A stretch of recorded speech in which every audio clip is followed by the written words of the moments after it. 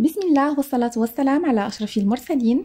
كنحيي جميع المتابعين والمشتركين على قناة سفيرة الطبخ المغربي. وبالنسبة لوصفة اليوم كنقترح عليكم تشيز كيك الأوريو وصفة كيعشقها الكبير والصغير. غنحضروها مع بعض بمكونات سهلة جدا بطريقة جد مبسطة بدون فرن بدون بيض ولا جيلاتين. والنتيجة أكثر من رائعة. تابعوا الفيديو للأخير باش تعرفوا على المقادير وكذلك باقي مراحل التحضير.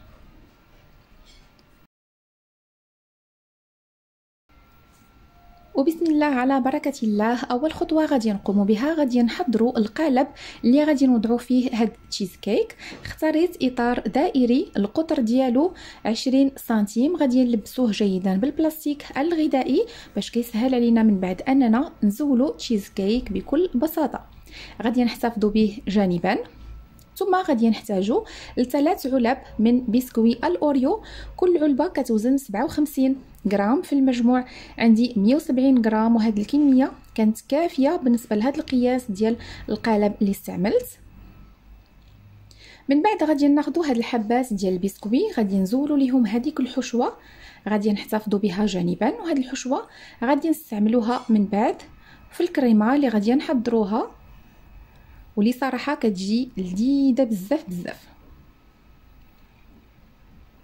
غادي نكمل بنفس الطريقة حتى غادي نكمل هذه الكمية كلها اللي عندي. من بعد غادي ناخذ مفرمة وغادي نوضعوا فيها حبات ديال البسكوي وغادي نطحنوهم جيدا. بالنسبة للطريقة اللي غادي نطحنوا بها فهي كتبقى اختيارية. ممكن تطحنوا جيدا حتى كنتحصلوا على مسحوق ديال البسكوي اللي كيكون ناعم جدا أو ممكن تخليوه على شكل قطع اللي كتكون آه، بحال مجروشة. أنا طحنته على هذا الشكل. ممكن تستعملوا كذلك بلاستيك. توضعوا البسكوي وسط بلاستيك وتدقوه فقط غير بالمدلك أو لا أي أداة. فقط غير باش كنسهلوا الوصفة. من بعد غادي نوضع البسكوي في إناء وغادي نضيف ليه الزبده دائبة من الأفضل تكون نوعية جيدة باش كنتحصلوا على مذاق جيد.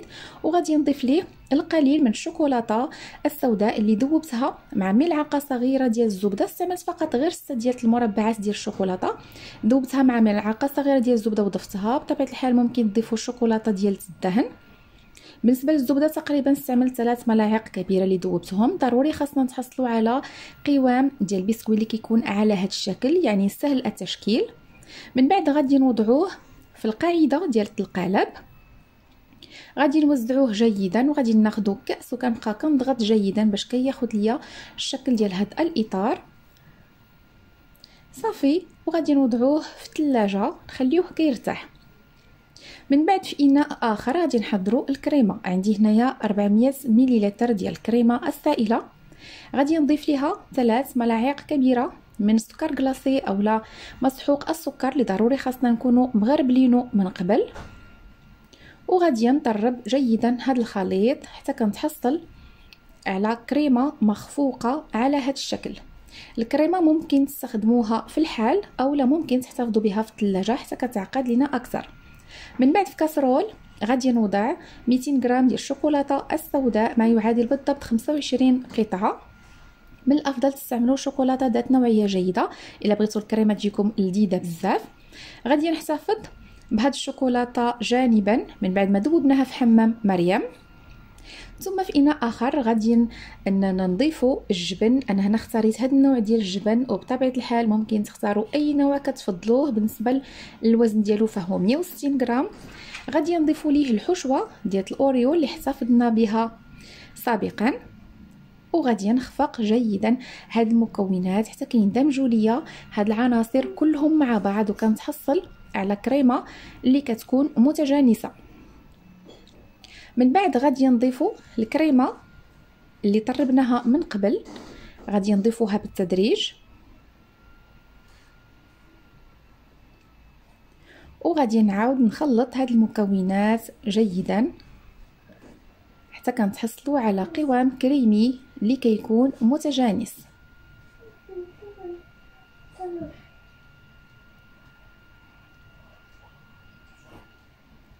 مباشرة من بعد غادي نضيفوا الشوكولاتة اللي ذوبناها.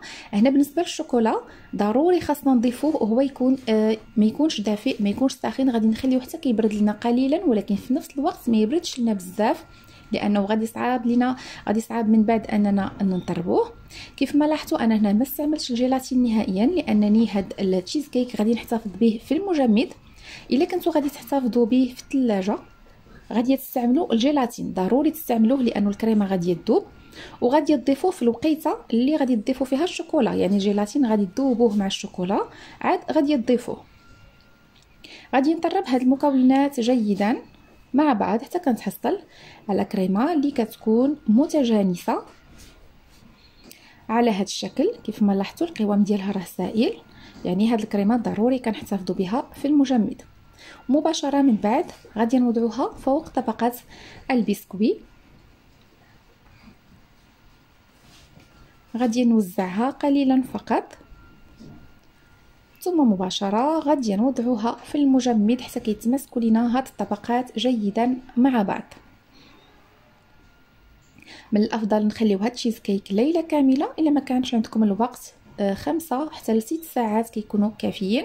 فقط غير باش كيتماسكوا لينا هاد الطبقات من بعد غادي نزولو البلاستيك الغذائي بكل سهولة. وبالمساعدة ديال السكين غادي نزولوا كذلك الجوانب باش كيسهل علينا أننا نزولوا هذا الإطار اولا ممكن توضعوا واحد الفوطة اللي كتكون ساخنة في الجوانب ديال هذا الإطار باش كيتزول بكل سهولة. من بعد غادي نزين فقط بالورود من الكريمة المخفوقة. وفي الجوانب غادي نزينو كذلك بالبسكوي غادي نزينو الوسط كذلك بالبسكوي اللي دقيناه اولا آه هرمشناه من قبل. والتزيين دائما كيبقى اختياري غنزين بالقليل فقط من القرقاع والقليل فقط من الشوكولاتة اللي قطعتها قطع صغيرة على هذا الشكل. كيف ما لاحظتوا الوصفة فهي سهلة جدا سهلة في التحضير. المكونات ديالها بساط يعني ما كنحتاجوش مكونات اللي هي كثيرة أو لا آه الكريمة اللي غادي نحضروها بشي طريقة معقدة. طريقة سهلة جدا والنتيجة كتجي أكثر من رائعة. هاد الشيز كيك كيجي لذيذ بزاف الكريمة كتجي حتى هي لذيذة بزاف. هذاك المزيج ما بين الجبن وما بين الكريمة ما بين حشوة الأوريو. عطاو لهاد الوصفة واحد المذاق أكثر من رائع. كنتمنى أن الوصفة ديال اليوم تنال إعجابكم. جربوها خليو لي آرائكم في التعليق ونتلاقاو إن شاء الله في فيديو قادم مع وصفة جديدة. إلى اللقاء.